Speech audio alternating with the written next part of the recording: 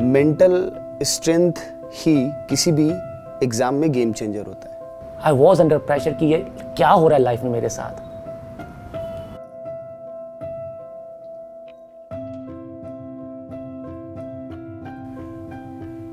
सो JEE mains के चार attempt हो गए।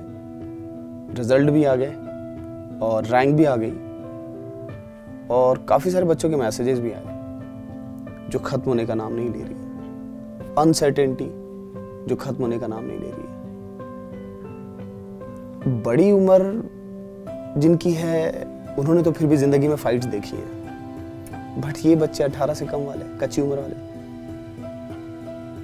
इन्होंने तो इसी छोटी सी उम्र में कोविड के तूफ़ान को फेस किया और एक एंटायरली नए एजुकेशन सिस्टम को फेस किया उसे अडॉप्ट किया किसने किया था ऐसे? और रही बात की एग्ज़ाम पोस्टपोन हो गए चार चार अटैम्प्ट मिल गए मुझे एक बात बताओ आप। कोई भी एग्ज़ाम मेंटल स्ट्रेंथ ही किसी भी एग्ज़ाम में गेम चेंजर होता है। बच्चों को मेंटल स्ट्रेंथ कहाँ दी?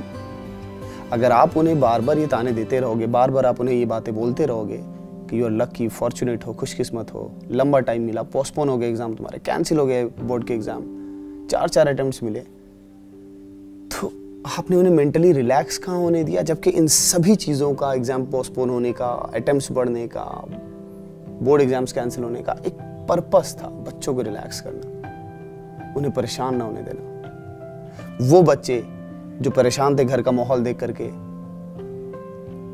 पापा की जॉब जाते हुए देख करके, भाई की सैलरी कट होते हुए देख करके, माँ को दिन रात परेशान होते हुए देख करके कोविड की सिचुएशन में इमेंस नेगेटिव प्रेशर को फेस करते हुए इनफैक्ट मैं ये कहता हूँ कि आप, मेरे दोस्तों, आप जिन्होंने अभी एग्ज़ाम्स दिए या एग्ज़ाम्स दे रहे हो इस कोविड की सिचुएशन में you are the strongest generation दुनिया चाहे कुछ भी क्या है आपको, याद रखना you are the strongest generation hats off to you love you all